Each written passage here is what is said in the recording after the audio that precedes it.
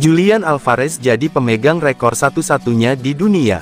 Julian Alvarez menjadi pemain pertama di dunia yang mengukir rekor mendapatkan treble winners dan piala dunia dalam musim yang sama. Dia mencatatkannya di usia masih 23 tahun. Fakta itu dikutip dari Skauka, di mana penyerang Manchester City itu memenangkan Premier League, Piala FA, dan Liga Champions musim ini. Lalu kemenangan di Piala Dunia 2022 didapat bersama timnas Argentina. Julian Alvarez adalah pemain pertama dalam sejarah sepak bola yang berhasil memenangkan treble dan Piala Dunia dalam satu musim yang sama. Pemain berjuluk La Arana dapat mengukir rekor tersebut setelah Manchester City mengalahkan Inter Milan dengan skor 1-0 dalam laga di Ataturk Olympic Stadium, Turki pada minggu dini hari tanggal 11 Juni tahun 2023. ESPN juga membeberkan fakta, Alvarez menjadi pemain ke-10 yang berhasil mendapatkan gelar juara Piala Dunia dan Liga Champions dalam musim yang sama. Sayangnya, Alvarez tidak bermain dalam pertandingan melawan Inter. Manajer Man City, lebih mempercayakan lini depan kepada Erling Haaland dalam duel tersebut. Sebelum memenangkan Liga Champions bersama Man City, Alvarez juga mencicipi trofi juara di Premier League dan Piala FA. Dalam skuad Man City saat ini, Alvarez memang jadi pelapis Haaland. Lebih banyak jadi pemain pengganti, dia menyumbangkan 17 gol dan 5 assist dalam 49 laga di semua kompetisi.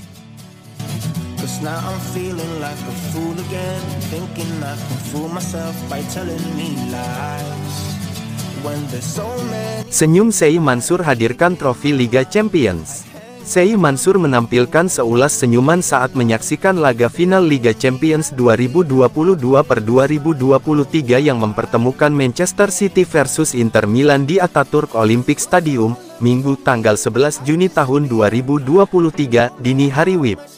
Ini pertama kalinya anggota keluarga penguasa di Abu Dhabi itu secara langsung menonton pertandingan The Citizens sejak 2010.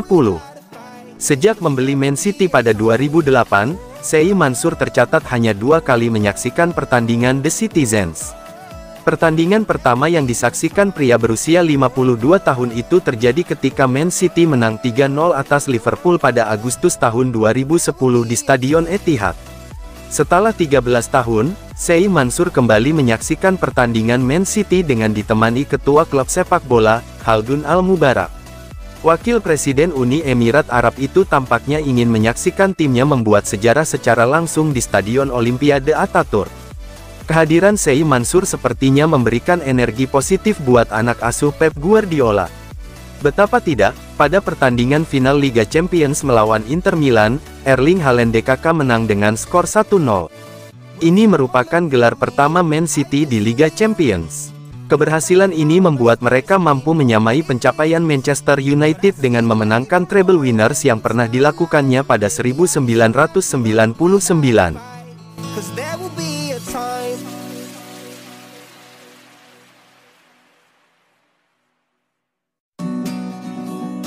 Ederson gemilang, Man City juara Liga Champions. Rodri memang menjadi pahlawan Manchester City dalam meraih gelar Liga Champions 2022 per 2023. Tapi, kegemilangan Ederson Moraes jangan sampai dilupakan. Manchester City vs Inter Milan berlangsung di Ataturk Olympic Stadium, Istanbul, Minggu tanggal 11 Juni tahun 2023 dini hari WIB. Babak pertama berjalan alot dan kedua tim harus puas imbang 0-0 sampai turun minum.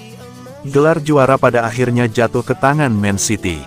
Gol kemenangan dicetak oleh Rodri di menit ke-68. Ada kontribusi besar dari Ederson dalam laga ini. Dia mampu mematahkan peluang emas Inter di menit ke-69 saat menepis sundulan Federico Di Marco, yang kemudian memantul ke mistar gawang. Romelu Lukaku juga nyaris merobek gawang Man City di menit ke-88.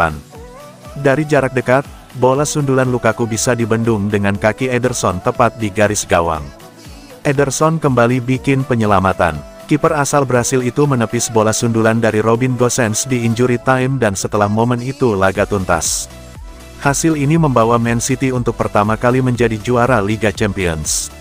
Pasukan Pep Guardiola juga menutup musim dengan treble winner setelah sebelumnya juara di Premier League dan Piala FA.